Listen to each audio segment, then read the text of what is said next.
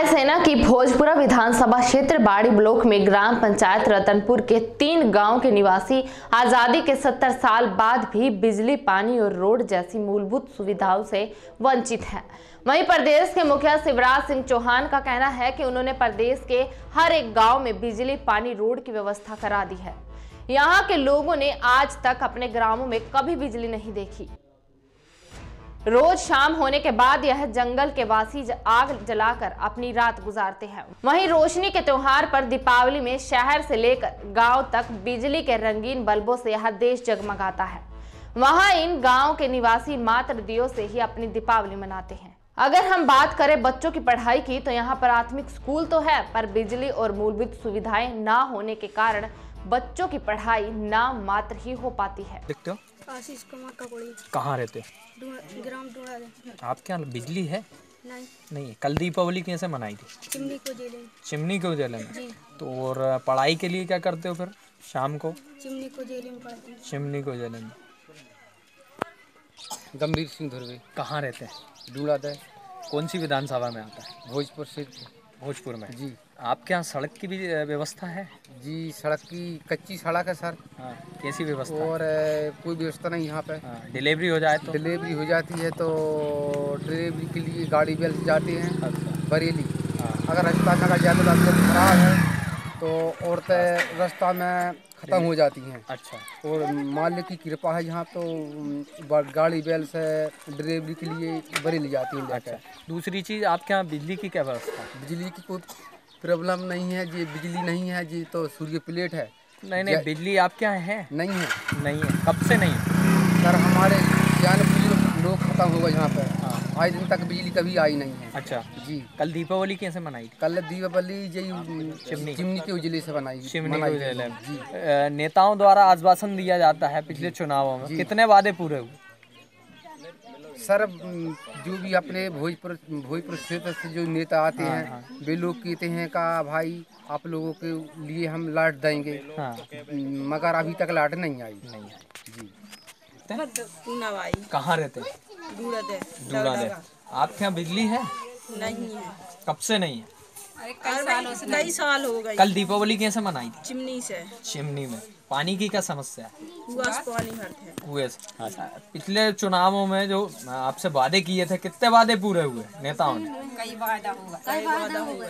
आज तक कोई पूरा नहीं हुआ। आप क्या किसी प्रकार की कोई सुविधा नहीं है? अगर कोई एक मिनट इसको कर नाम क्या है आपका? कहाँ रहते हैं। डूडा दे। आपके यहाँ पानी की क्या समस्या है? पानी कुछ समस्या नहीं है। हाँ पानी क्या पानी कहाँ से लाते हो। कुएँ से भर के लाते हो। हेडपम्प नहीं है? नहीं। है। बिजली? बिजली भी नहीं है? आपके यहाँ आज तक बिजली नहीं है? कल आपने दीपावली कैसे मनाई? चिमनी के ज़िले में।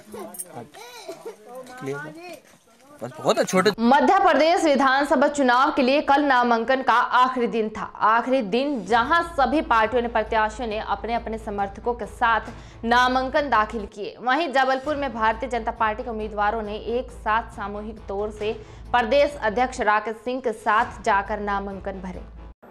मध्य प्रदेश में माननीय शिवराज सिंह चौहान जी की लोकप्रियता सरकार के द्वारा किए गए कार्य केंद्र में देश के यशस्वी प्रधानमंत्री माननीय मोदी जी की लोकप्रियता और उनकी सरकार के द्वारा किए गए कार्य। इनकी स्वीकारता जनता के बीच में इतनी व्यापक है कि जनता ने भी ये तय कर लिया है कि मध्य प्रदेश के हित में देश के हित में चौथी बार भी मध्य प्रदेश में शिवराज जी के नेतृत्व में भारतीय जनता पार्टी की सरकार बनना चाहिए। और उसी दिशा में आज पूरी एकजुटता के साथ भारतीय जनता पार्टी ने कदम आगे बढ़ाए। बागियों से कैसे निपटेगी पार्टी? एक चुनौती है। आपने देखा कि पार्टी का कार्यकर्ता पार्टी के साथ है। और मुझे पूरा विश्वास है कि प्रारंभिक रूप से जो असंतोष अभी दिखाई दे रहा है आने वाले समय में असंतोष भी समाप्त हो जाएगा और सारे लोग मिलजुल कर भारतीय जनता पार्टी की जीत सुनिश्चित हो इस दिशा में कदम आगे बढ़ाएँगे। सिंह भाई साहब और रामकृष्ण ये दोनों ही बागी हो चुके हैं दोनों मैंने अभी कहा कि हमें दुख होता है इस बात का कि जब हमारा कोई तपा तपाया कार्यकर्ता या वरिष्ठ नेता पार्टी से दूर जाता है लेकिन ये वो लोग हैं जिनसे पार्टी ने पार्टी के कार्यकर्ताओं ने प्रेरणा ली है। और इसलिए हम ये उम्मीद करते हैं कि कहीं ना कहीं ऐसे वे सभी लोग अपनी भूल को सुधारते हुए भारतीय जनता पार्टी को जिताने में अपना सहयोग प्रदान करेंगे। हैं बोल दिया मैंने। वापसी कह सकते कि अगर वापसी चाहें अगर ये तमाम लोग देश में लोकतंत्र है हर किसी को अपनी राह चुनने का अधिकार है। और इसलिए हम किसी पर कोई बात ज़बरदस्ती तो नहीं थोप सकते। केवल इतना ही याद दिला सकते हैं कि ये वो लोग हैं जिनसे हज़ारों कार्यकर्ताओं ने प्रेरणा ली है। कांग्रेस को गुस्सा इसलिए नहीं आता है कि योजनाएँ खराब हैं। कांग्रेस को गुस्सा इसलिए आता है कि वो सत्ता से बाहर है। और कांग्रेस के इस गुस्से को हम समझ सकते हैं। लेकिन कांग्रेस को इस चुनाव के बाद फिर आने वाले पाँच सालों के लिए गुस्सा ही आएगा। शिवराज सिंह अरुण यादव इसमें कोई दम नहीं है। आप जानते हैं शिवराज सिंह चौहान भारी बहुमत के साथ चुनाव जीतने वाले कोशाम्बी के मुजाहिदपुर गाँव के तालाब में महिला की लाश मिलने से हड़कप मच गया। घटना शुक्रवार की दोपहर की बताई जा रही है। लाश मिलने की जानकारी के बाद लोगों का मजमा तालाब के पास लग गया।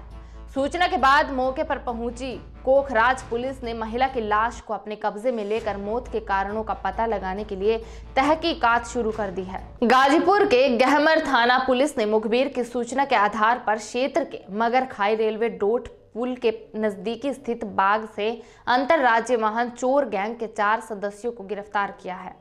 पुलिस ने गिरफ़्तार अभियुक्तों के पास से दो चार पहिया और पाँच मोटरसाइकिलें बरामद की, जिनकी अनुमानित कीमत लगभग सत्रह लाख रुपए आंकी जा रही है।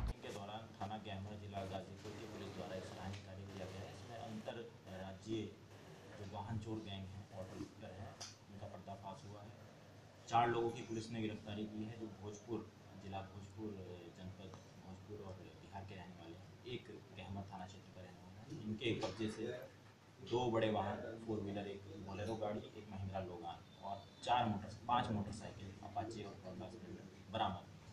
तो चोरी करके नंबर प्लेट बदल के चेसिस नंबर बदलवा के और गाड़ियों को विभिन्न जनपदों में विभिन्न राज्यों में बेच देते हैं। टोटल सात गाड़ियाँ पुलिस ने बरामद की हैं इसमें दो फोर व्हीलर हैं एक महिंद्रा बोलेरो दूसरी महिंद्रा लोगान और पाँच मोटरसाइकिल। कहाँ कहाँ?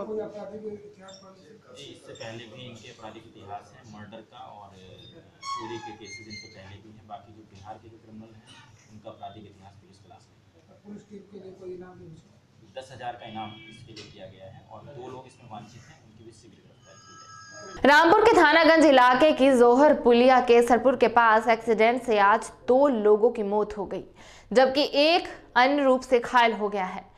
यह शादी में गए हुए थे और वहाँ से वापस आ रहे थे। घर पर सूचना आई कि किसी अज्ञात वाहन से इनका एक्सीडेंट हो गया है। इसमें दो लोगों की मौके पर ही मौत हो गई जबकि एक घायल हो गया है जिनका जिला अस्पताल में इलाज चल रहा है। अच्छा कहाँ से? अच्छा कहाँ पर हुआ एक्सीडेंट? है कैसर। केसरपुर। अच्छा अच्छा। तो इसमें ख़त्म कौन हुआ है? एक जाफ़र अली खत्म हुए जी। और एक आरिफ उनके बेटे। अच्छा और कौन? और तीसरे? तीसरे दमाद हैं उन, उनकी हालात सीरियस हैं उन्हें ले गए क्या करते हैं ये बाप बेटे? किसानी करते हैं। अच्छा, कहाँ के रहने वाले पीछे स्वार के रहने वाले। ठीक है आपके कौन है? ये हमारे एक भाई हैं एक भतीजा आरिफ भतीजा जाफ़र अली भाई। ठीक। इन दिनों कुरुक्षेत्र में कुंभ स्नान की चर्चा है। जी हाँ पाँच दिसंबर को ढाई दिन का कुरुक्षेत्र कुंभ योग बन रहा है। आम जनमानस मात्र चार कुंभों को जानता है लेकिन पौराणिक वर्ण के अनुसार देश में बारह कुंभों का आयोजन होता है जो कि समय के साथ लुप्त हो गए थे। अब अखिल भारतीय सर्व मंगला कुंभ सेवा समिति के प्रयासों से द्वादश कुंभ जागृत करने का बीड़ा उठाया गया है। एक प्रयास हो रहा है कुंभ का स्नान जो होने वाला कुरुक्षेत्र में। ये बहुत प्राचीन काल से ही कुंभ भरता था। क्योंकि बारह कुंभ भरते थे पूरे वर्ष में, पूरा बारह साल में।